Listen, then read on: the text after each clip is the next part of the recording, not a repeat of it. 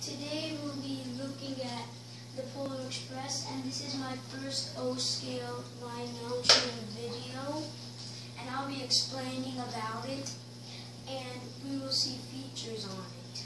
Some features I will not show and some I will. And the first feature about it is that it has a chuff sound. There's two switches in the cab. One has chuff, you can turn it on or you can turn it off and the other is smoke, but I'm not going to show that one. So, and one of them is it has a whistle, and you just hit the whistle button on your controller. It also has a sound button that can make two different sounds, and it can make sounds while it's running, and it has a nice bell sound about it too and you'll get a nice oval track to run it with and you'll get three different sort of coaches.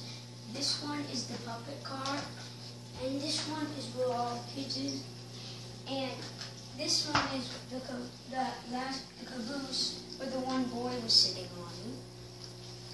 And we're gonna run it once I just turn it this one way.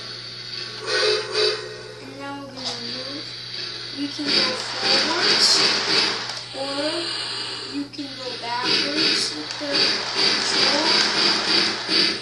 And it can also go really fast.